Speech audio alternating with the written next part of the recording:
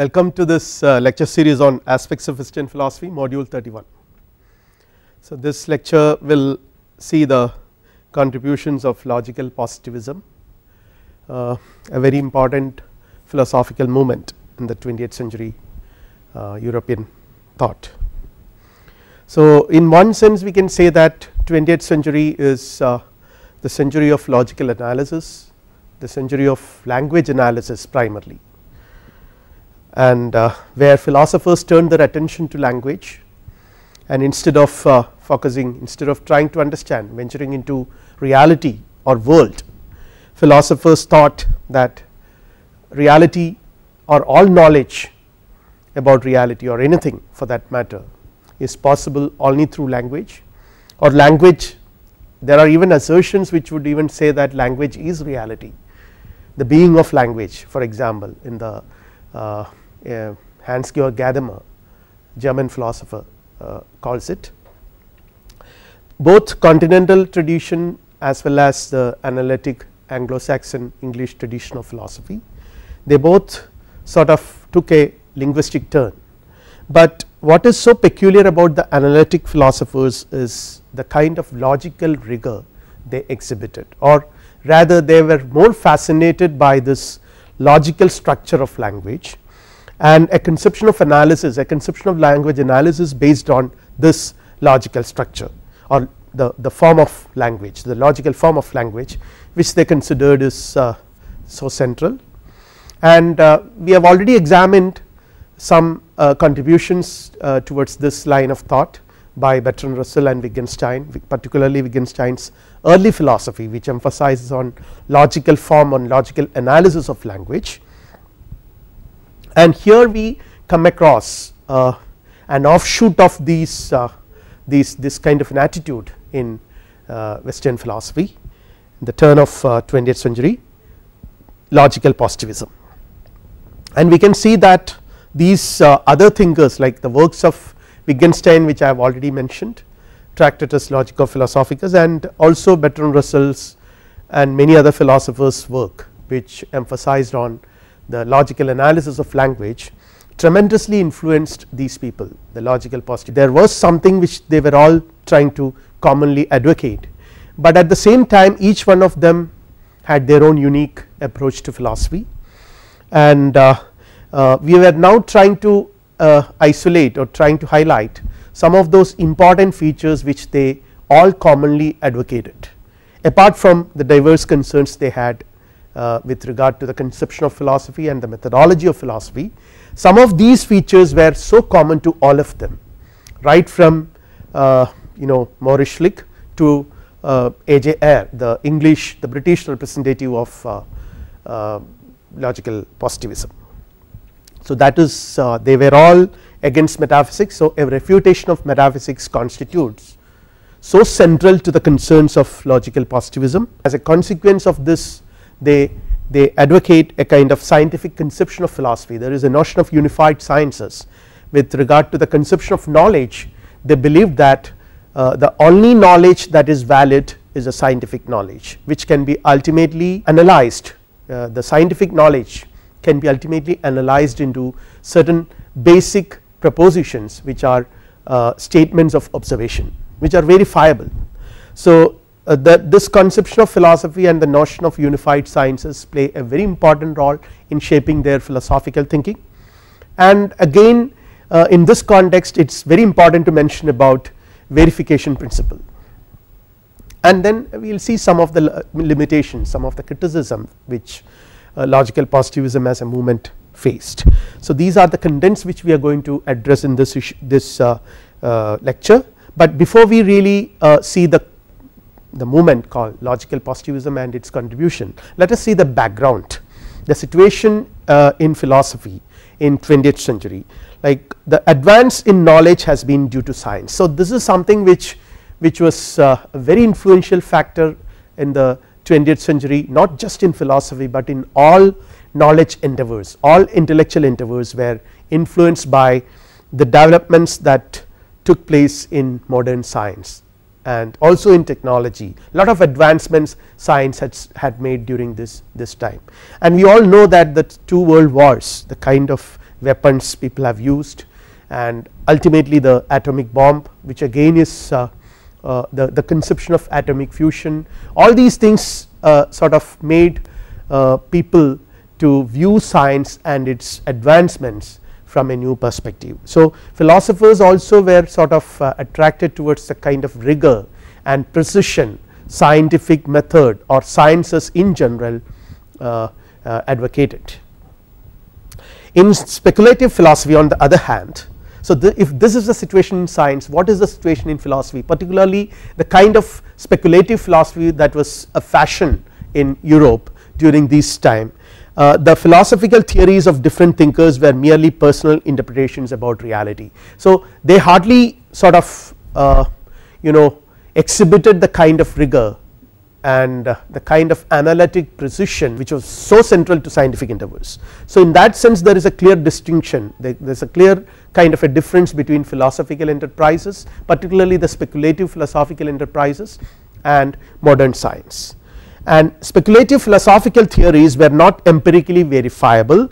They were it, uh, so hence it is impossible to establish their truth or falsity. So naturally people went on speculating about what should be the real nature of reality what should be uh, what is good and how do you define goodness uh, and how do you distinguish it from evil? What is the ultimate destiny of human life meaning of human life? All kinds of things philosophers have discussed elaborately extensively and quarrel with each other, but ultimately these arguments these speculations have never taken us to anywhere definite. Because these speculative philosophy the domain of speculative philosophy is not a domain which can be empirically verifiable observable by senses. So that so that we can arrive at a kind of uh, precise a kind of concise domain of knowledge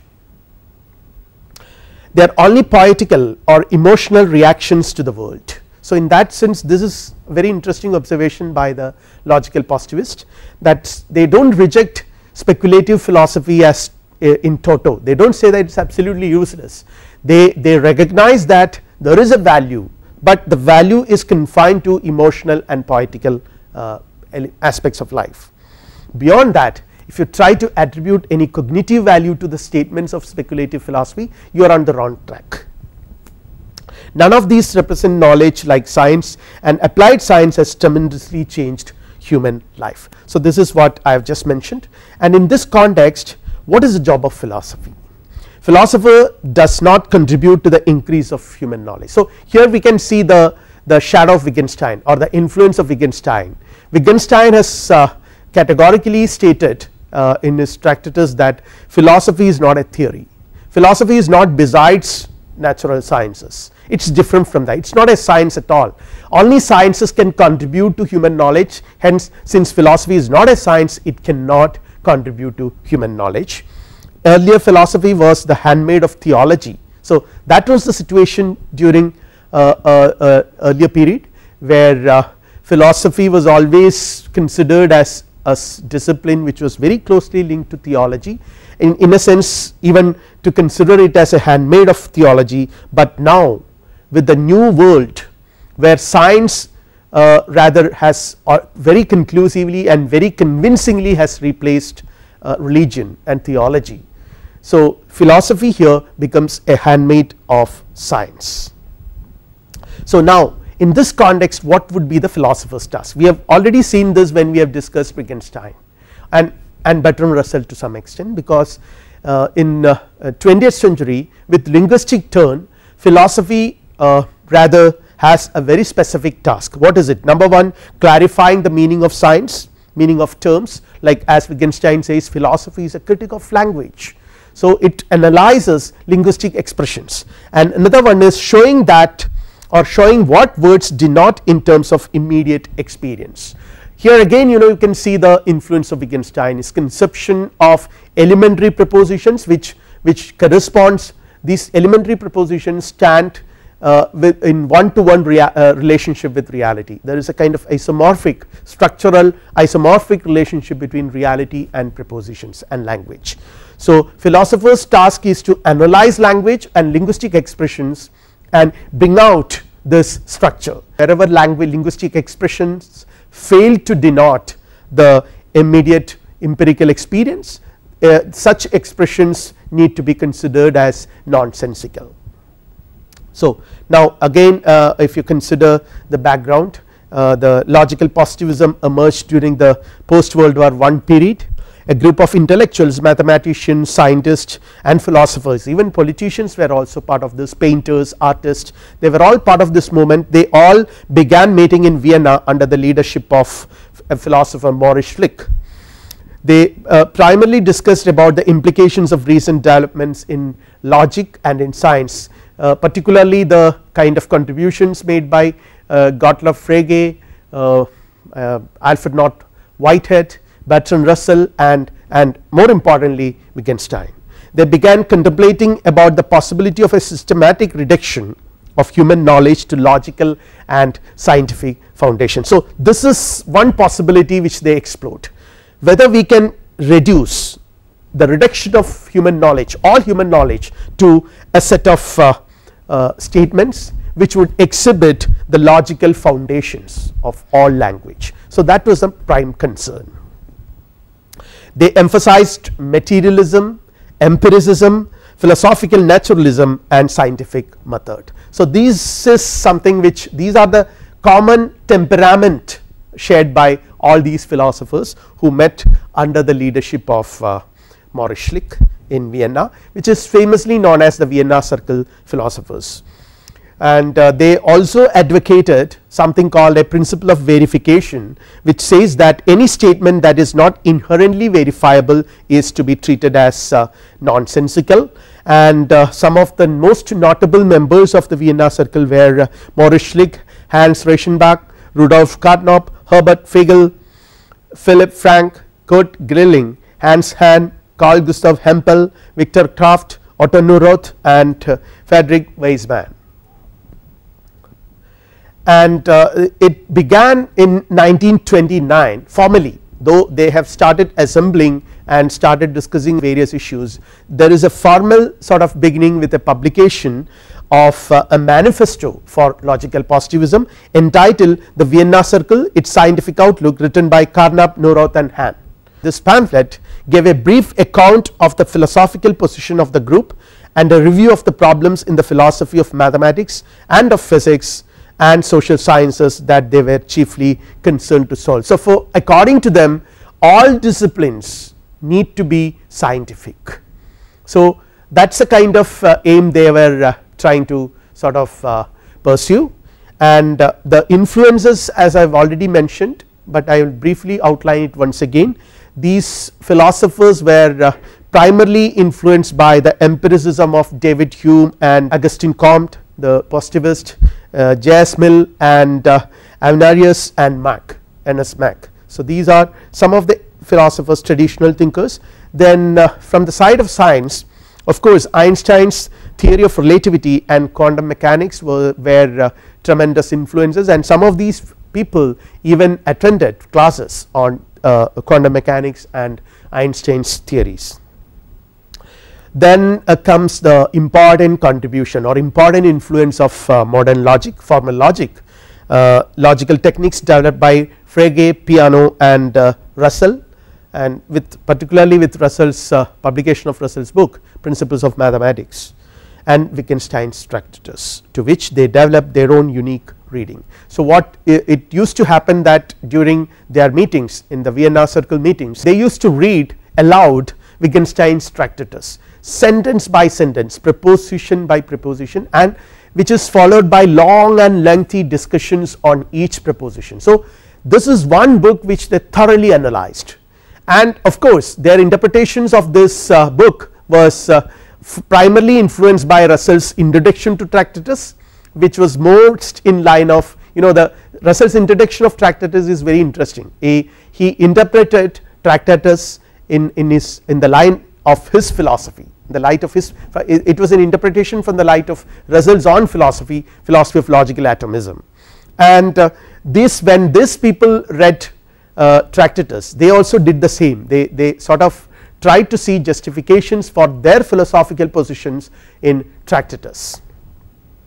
Now uh, some of the important features of uh, logical positivism it was uncompromising positivism then uh, blanket rejection of metaphysics uh, respect for scientific method conviction that insofar as philosophical problems are genuine at all they can be definitely solved by logical analysis. So, if at all there is a philosophical problem that needs to be considered as a genuine problem then a solution could be found out with logical analysis. So, logical analysis is the key and if logical analysis leads to sort of conclusions where you where you fail to find any definite empirical foundation for your statements for your preparation propositions then those propositions are to be treated as nonsensical.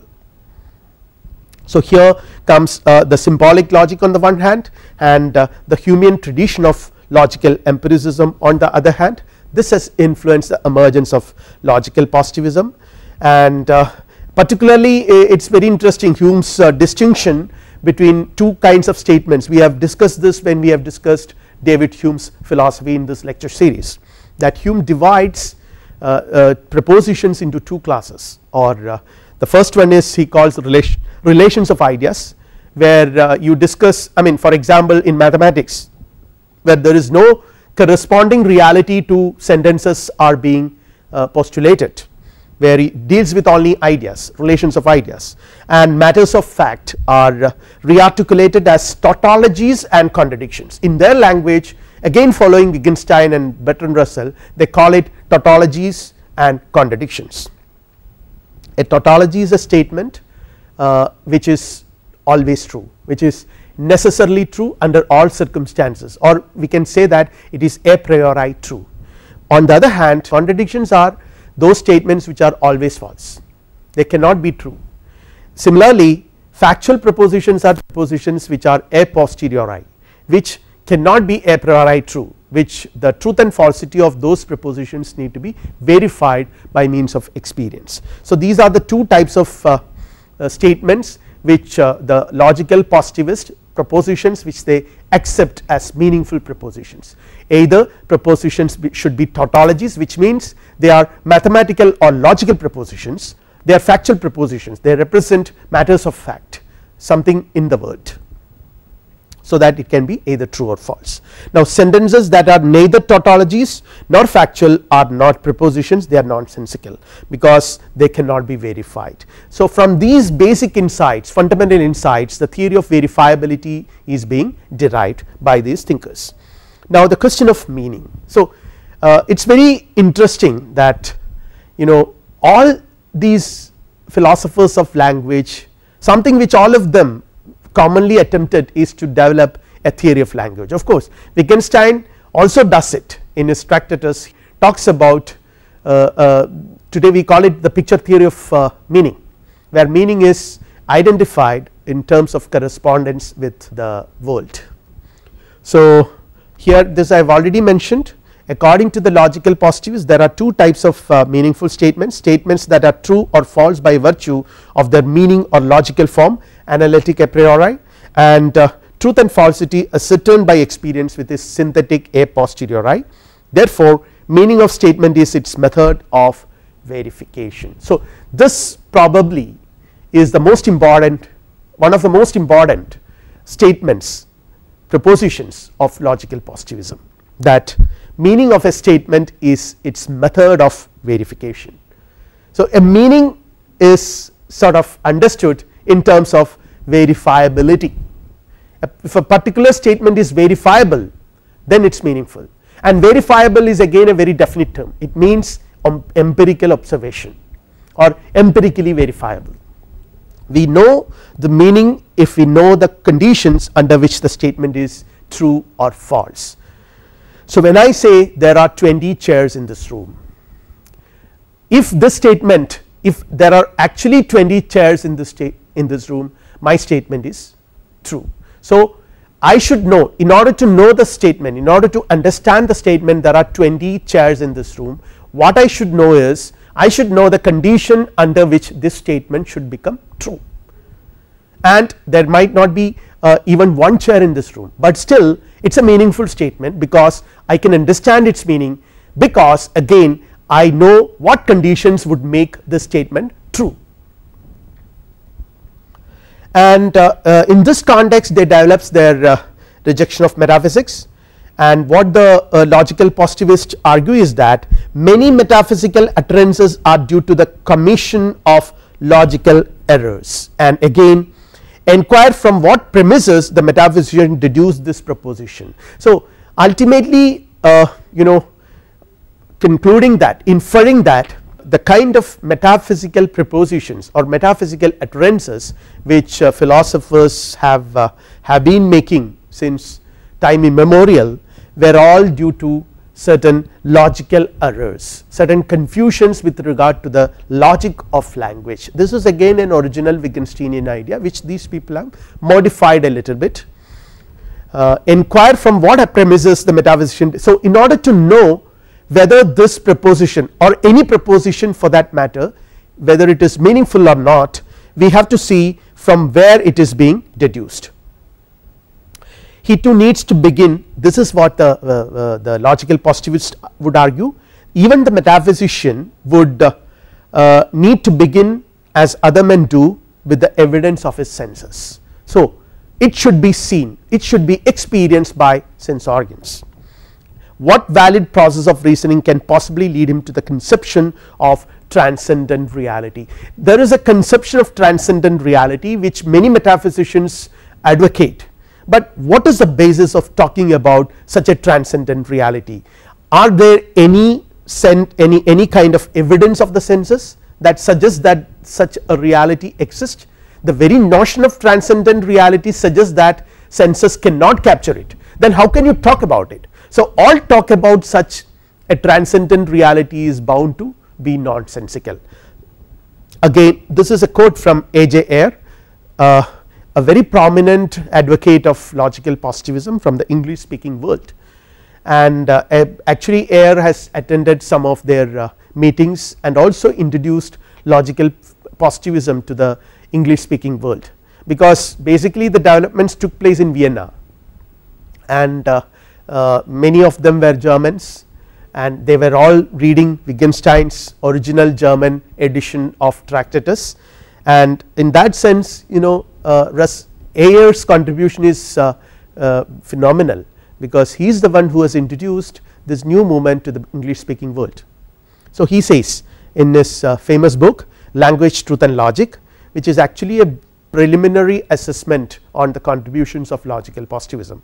So I read I quote the traditional disputes of philosophers are for the most part as unwarranted as they are unfruitful. The surest way to end them is to establish beyond question what should be the purpose and method of philosophical inquiry. So, you need a purpose and you also need to adopt a method it is like science. So, in the line of science you conceive philosophy in the line of science where science has a purpose and also a definite method. So, similarly philosophy should also need a method and also a purpose to serve. So, here a rejection of metaphysics through language analysis. Here the impossibility of a transcendent metaphysics is not a matter of fact, but a matter of logic. This is something which I have already mentioned that their method is language analysis and logical analysis of language. So, if they say that the conception of transcendent reality is impossible to be advocated because you cannot say anything about it. And the reason for that is not something which is a matter of fact, but a matter of logic logically they say that logically it is not possible because the logic of language suggests that linguistic expressions when they attempt to transcend the boundaries of sense experience they tend to be nonsensical.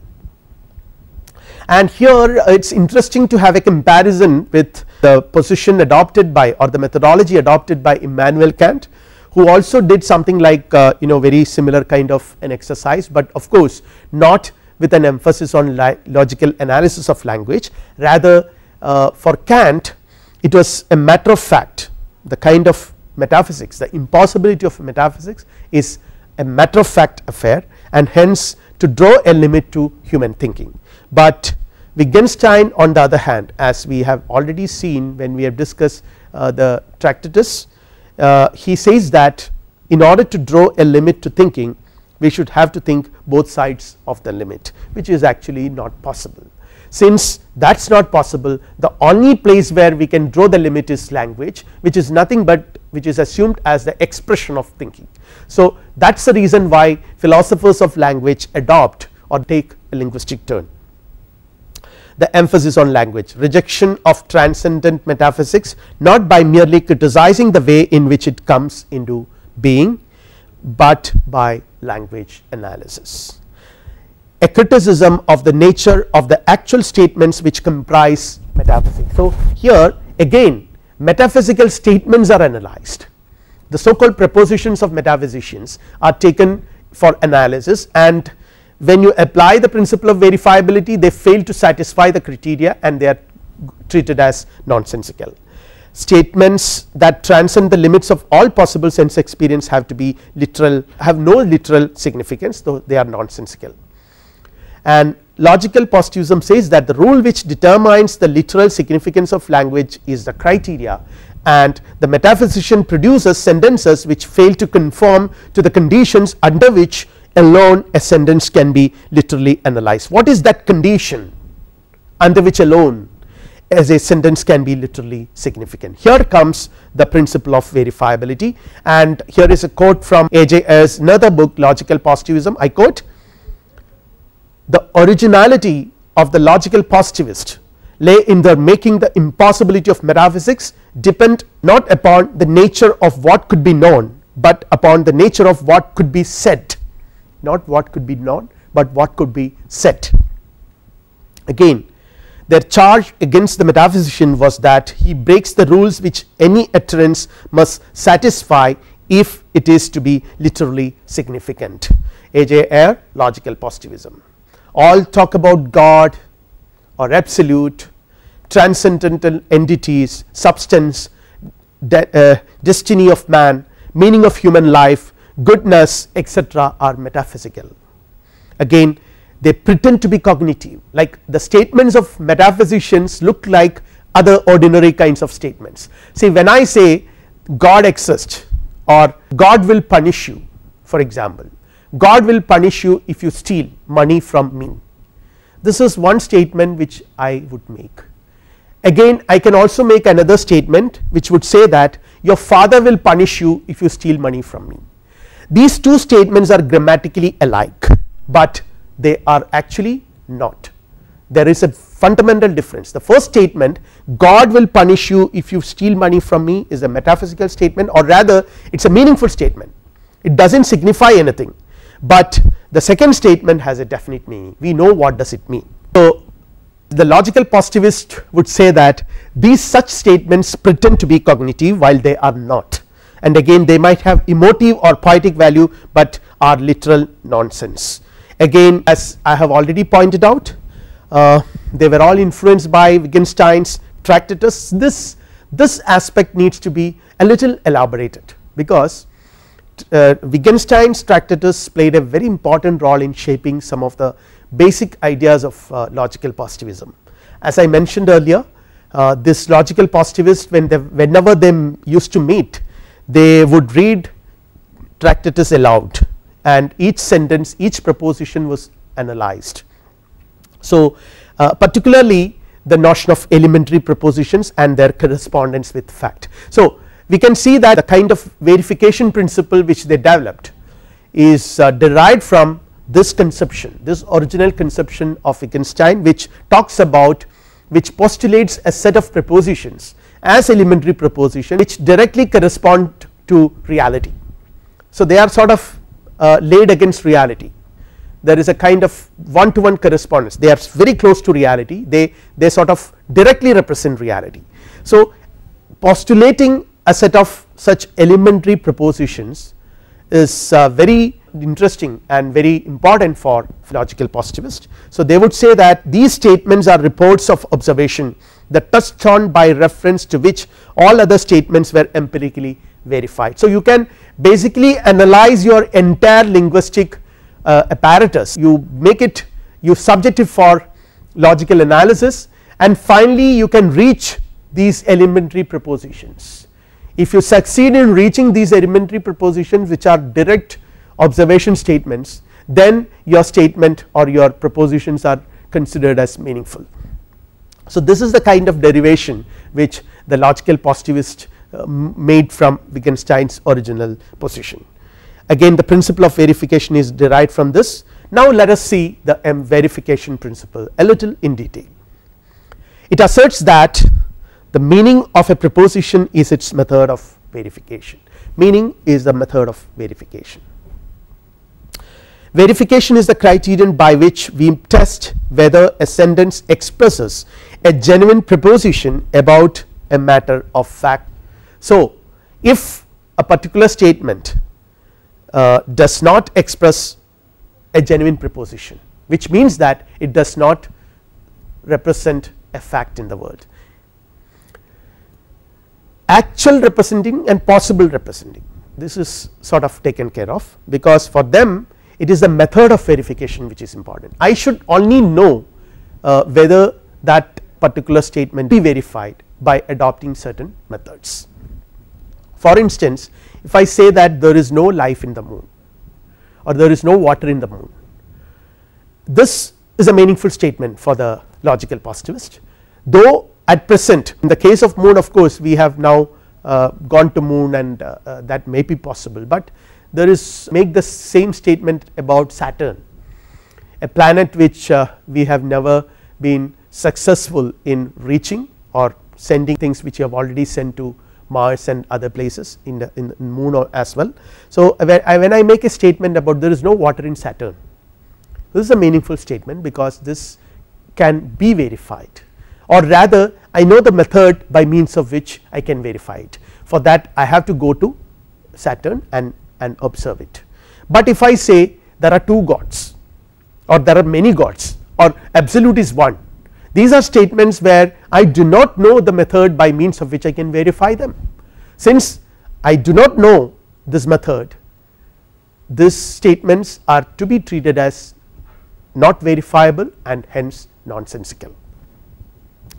All meaningful statements including the most abstract scientific hypothesis can be ultimately analyzed to these elementary statements which stand for observable events. So, this is what the emphasis on logical analysis would yield to because you can every statement there are certain very abstract scientific theories which cannot be directly verified, but yet they are meaningful because they can be analyzed they can be analyzed into simple elementary propositions which correspond to reality which are directly verifiable.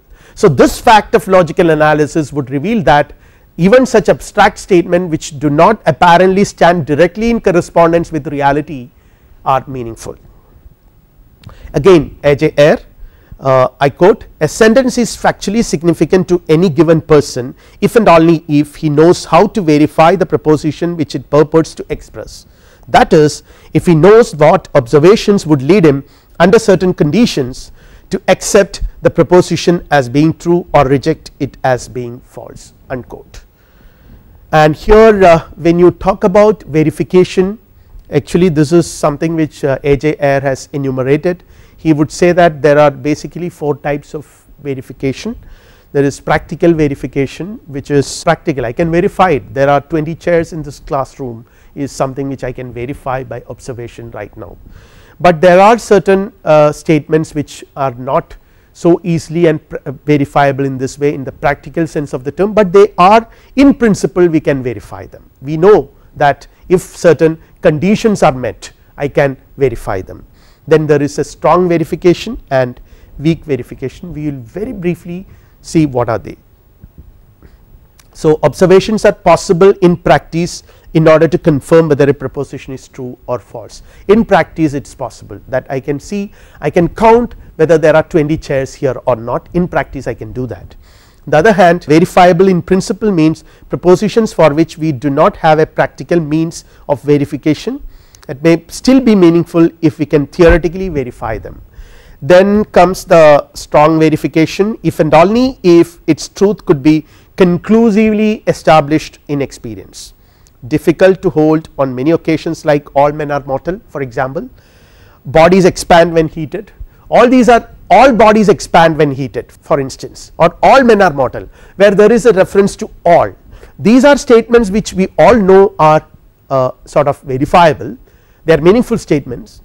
But at the same time if you apply the criteria of strong verifiability which means that statement should be conclusively established in experience. If, uh, make such statements directly stand. They may not pass the test of this criteria the strong verifiability. Such general propositions of law are designed to cover an infinite number of cases hence cannot be conclusively verified. For example, when I say all men are mortal I include under this all men every human being who are born died and yet to be born. And weak verification is uh, if it is possible for experience to render it probable there is no strong conclusive verifiability asserted here the question is would any observations be relevant to the determination of its truth or falsehood if not the statement under consideration is not successful. So, it is very modest that is the only requirement it has to meet. So, uh, what is weak sense of verifiability a little bit elaboration by A. J. Ayer he adds a genuine factual proposition need not be equivalent to an experiential proposition or any finite number of experiential propositions, but simply that some experiential proposition can be deduced from it in conjunction with certain other premises without being deducible from those other premises alone. But as uh, uh, like all of us would have by now understood some of the important points which the logical positivists were trying to assert. They started out with the concept of I mean their fundamental purpose is the rejection of metaphysics the negative side and on the positive side to arrive at a scientific conception of knowledge how a universal science is possible. So, that all knowledge is scientific there is no confusion. So, that is the kind of purpose with which the logical positivists actually began their enterprises. And then in that process they uh, thought that it is important to reject refute metaphysics. And they adopted the methodology of language analysis and also the principle of verifiability. There are different ways in which this is understood. This is what we have seen but this principle of verifiability has got certain difficulties. For example we can say that you know as we have seen they, they depend on a lot on the availability on the possibility of elementary propositions the elementary propositions which stand directly in touch with reality. They are directly in contact with reality. So, but the question is are elementary statements infallible you say that they are directly in touch with reality, but to what extent they are infallible you are you probably are mistaken then again do they refer to the private sensations of the speaker or to the public physical events again like when I say the temperature of this room is uh, 28 degree centigrade. This is something which uh, a statement which I make about the world and uh, whether this statement is about a private sensation or a public physical event. Are they mere records of the subject's immediate experience?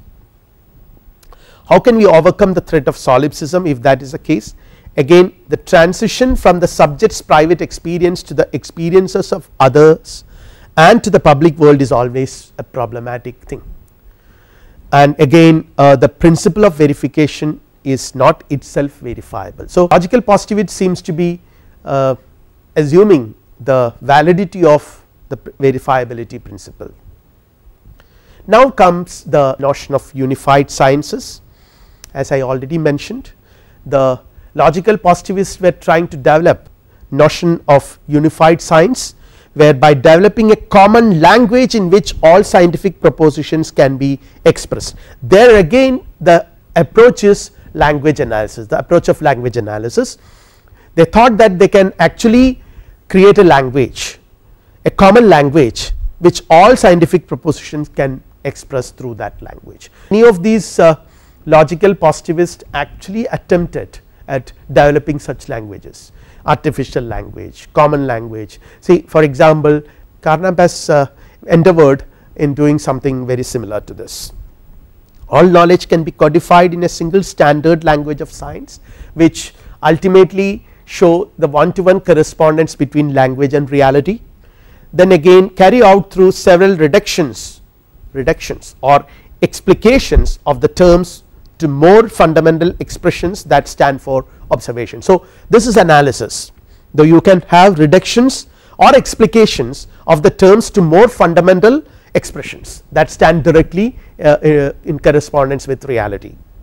Actually it is not right to say that it is correspondence with reality it is something which we observe again the emphasis is on observation. So, the problem is that whether it is an observation is uh, uh, private or not is a question like what we have raised just uh, before this. Now scientific theory is also a kind of as I already mentioned a very abstract network of knowledge an axiomatic system not directly verifiable because it is an abstract formal system, but empirical interpretation of these abstract system is possible by means of those statements that establish a correlation between real objects and the abstract concepts. So, there is something called rules of correspondence. So, we can analyze these abstract theoretical formal state system into empirical statements and finally to elementary statements which directly are in touch with reality. And scientific theory needs such rules of correspondence for empirical interpretation and verification. We can see the summary of uh, uh, scientific theory how scientific theory are, uh, theories are constituted. So, you can see that you know there is uh, there there are logical terms uh, out of which uh, science would have certain logical statements and only logical terms would be there. Then you have observational terms where out of which you make observational statements which include observational and logical terms. And then you have theoretical terms where uh, the theoretical statements which include logical terms and observational and logical terms which include both. So, the pure theoretical statements and mixed theoretical statements out of which the theoretical statements are composed of. So, this is the picture of scientific theory where again ultimately this can be reduced into uh, statements which directly corresponds to reality all sciences share a common language. So, this seems to be the most important most fundamental assumption of this notion of unified science. All scientific terms could be restated as or reduced to a set of basic statements or protocol sentences describing immediate experience of perception. So, they are called protocol sentences. They directly stand in correspondence with reality. Reduction of all scientific terms to terms of physics is possible. That is according to the logical positivist and the procedures for testing statements in the various sciences are basically the same. That is analysis. There is a logical analysis of language based on the principle of verifiability. And in this context according to the logical positivist the primary function of philosophy is not to propose basic principles of knowledge. Here we can see the legacy of Wittgenstein. It was Wittgenstein who said that philosophy is not a theory. Philosophy will never give you knowledge. So, again not to construct a deductive system of meaningful propositions by offering the consequences of basic principles of knowledge as a complete picture of reality. So, that is not the purpose of philosophy at all and philosophy in that sense has a very modest uh, purpose to serve what is it philosophy clarifies the logical relations of empirical propositions. So, it is a logical analysis ultimately what philosophy does with which clarifies philosophically clarifies the logical relations of empirical propositions. This is what the overall philosophical position of logical positivism is all about. So, we can see that the important points to be remembered are number 1 they were influenced by the development in sciences and they were trying to develop a scientific method a scientific philosophy a scientific conception of philosophy and in that connection a unified science where all knowledge can be reduced to uh, certain propositions which are directly observable. Number 2 rejection of metaphysics and number 3 principle of verifiability. When we try to make a final assessment about logical positivism uh, we can see that the impact of scientific developments in philosophy in their philosophical principles and theories were quite evident uh, philosophy of logical analysis. So, you can see that uh, the emphasis on logical analysis which distinguishes uh, the logical positivist movement from other philosophical movements despite all their limitations they were they were as quite assertive about the logical rigor which needs to be adopted when you philosophize. The attempt to make philosophy scientific this is again a very unique attempt which was uh, done by these thinkers and uh, the question is whether it is a failed attempt or not. Actually this is an interesting question which uh, if you if you try to see whether uh, logical positivism was a failure or not though it is a little inappropriate to really pose such a question whether a philosophy is a failure or a success. A philosophy as these people themselves claim is not a scientific theory. If it is a scientific theory then you can say whether it has succeeded in attaining certain certain goals or making certain products or whatever. The philosophy is not a theory uh, about which we can say that it was a successful theory or not, but rather they were uh, sort of uh, trying to point out that there are certain things which are to be treated as important and the criteria for understanding knowledge. And in that sense their philosophy is a very important movement and uh, the most important contribution of these philosophy is to logical analysis of language and the kind of as I already mentioned logical rigor they have exhibited when they philosophize. That is quite remarkable. And uh, uh, in that course many of the old philosophical problems were exposed, but overall there are hardly any supporters for these uh, philosophical movement in today's world though they themselves understood the limitations of their philosophy and tried to overcome this we can we have already seen how uh, A.J. Ayer had uh, formulated the principle of verifiability in different ways and Ayer also discusses the principle of falsifiability proposed by Karl Popper it was a kind of response to the, the limitations and failures of uh, the principle of verifiability.